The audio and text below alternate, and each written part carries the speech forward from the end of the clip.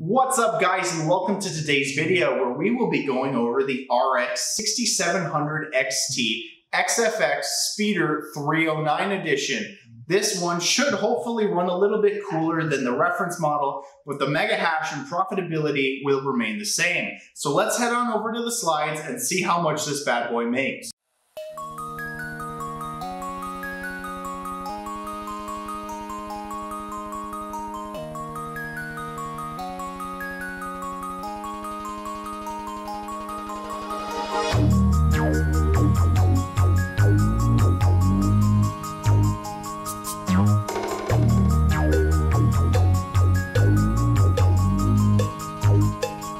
Bye.